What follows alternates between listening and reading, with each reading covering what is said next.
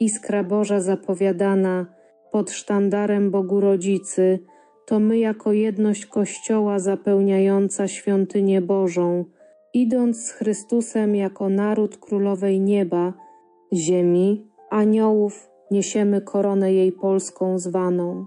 Maryja, dając nam syna swojego z woli Bożej, otworzyła nam drogę do raju wiecznego. Łaska, jaka spadła na świat, spadła i na nas. Polsko obudź się i zrozum łaskę Bogu Rodzicy, poświadczającej światu wszem i wobec królowanie jej w naszym narodzie. Matka Chrystusa Królową Polski na wieki. Umiłowani, spójrzcie, jak bardzo oddaliliśmy się od prawdy Chrystusowej, nauczania Jego, jak bardzo pogubiliśmy się na przestrzeni ostatnich lat, jak stoczyliśmy się w imię świata, w czeluści otchłanie, szyderstwo nasze, tych niby chrześcijan, pomsty woła do nieba. Zmieniliśmy się Polacy. Jak bardzo się zmieniliśmy? Jan Paweł II odszedł do Pana, a my w nieładzie sumień swoich zagubiliśmy polskość, duszę narodu, jedność nasza prysła, zamordyzm partyjny skłócił nas w zaplanowany sposób. Informacja zaprogramowała myślenie. Reklamy uwłaczające Bogu dały pożywkę diabłu, ale przecież diabła nie ma. Cicho sza. Tolerancja i braterstwo naszym motto życiowym się stało. Nie straszmy przestraszonych. Polski kabaret zniżył naszą religijność do poziomu zabobonu przestarzałych ludzi. Jest z czego się śmiać. Telewizja w nakazie swoim obdarowała nas posłuszeństwem. I posłuszni zgięliście kolana. Zdrada, jeszcze raz zdrada słychać dookoła. COVID pokazał naszą twarz. Zdradziliśmy Chrystusa pustosząc świątynię i tu wina leży po obu stronach rządzących, Watykanu i wiernych. Wszyscy ulegli paranoi strachu, a przecież Chrystus uzdrawia. Zapomnieliście? A może wcale w to nie wierzyliście? Chrystus w miłosiernym sercu swoim i tak nas kocha, ale smród pozostał. Idąc dalej widzę Polskę walczącą, milczącą i zdradliwą. Widzę plemiona oczekujące oczyszczenia Bożą łaską. Widzę nawrócenie i koronę złotą dla Króla Jezusa Chrystusa, ale też widzę krew, zdradę, wyniszczenie i walkę o byt nasz. To nadchodzi i odwrotu nie będzie. Musimy się oczyścić. Za mało modlitwy, pokory i uniżenia w sercach naszych. Zgubiliśmy w drodze naszej gdzieś Boga. Na dziś prośmy o łaskę nawrócenia i przetrwania, bo toniemy ze światem całym. Przeto módlmy się z sił całych, by iskry nie zgasić w sercach naszych. Naszym jedynym lekarzem, a uzdrowienie chorych naszą łaską jest.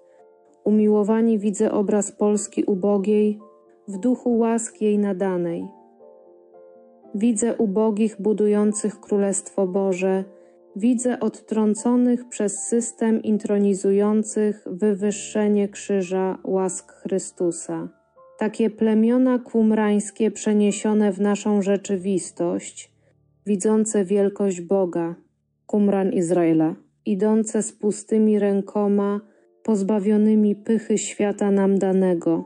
Polska, rozrzucone plemiona Izraela, dające łączność Bożą, zatarci poprzez wieki sławianie, a w szczególności Polska odrodzona w Chrystusie, ludem końca czasów jest, nowym początkiem iskry zapowiedzianej. Polska niosąca pokój, przeciwstawiająca się cesarzom świata, obrazem rzeczywistości stać się musi, byś przetrwać świecie mógł. Dlatego rozwińmy sztandary królowej naszej Maryi, nie dając sobie zaszczepić modernizmu świata, niszczącego Chrystusa, bestia stojąc u naszych bram, pokazała mi Twórcę światowego pokoju, systemem zwanym, który ślepotą swą jaskrę rozsiewa na lud Boży, świata całego. Prawdziwym zaś pokojem serc naszych jest Chrystus. Bóg przyrzekł Dawidowi, że da Izraelowi pokój przez Syna swego, i w nim świat zazna ukojenia i prawdy. Dlatego Polsko musisz zakończyć waśnie i pojednać się z Bogiem, niech wewnętrzna pycha i podział odejdą w zapomnienie, a duch tej ziemi zjednoczy się w prawdzie Chrystusowej. Dlatego nadchodzi wstrząs, który przez prawdę doprowadzi do pełnego nawrócenia narodu, odrzucenia zła tkwiącego w tym, co cesarskie. Nakreślona litera Taw uwolni nas od kary i staniemy z Maryją, Matką Chrystusa, z Marią z Magdali i Janem, dochowując wierności Bogu. Krzyż nas poprowadzi, taką Polska będzie i szatan o tym wie. Przeto zrobi wszystko, by nas zniszczyć, wdrażając nam polityczno-świeckie układy i sojusze. Polsko oddaj się Chrystusowi i Maryi, przywdziej szaty liturgiczne, podnieść arkę pokoju i żądaj jej od świata, nie dając sobie wydrzeć tradycji, honoru i chwały. Zjednoczone plemiona Chrystusa to wy Polacy,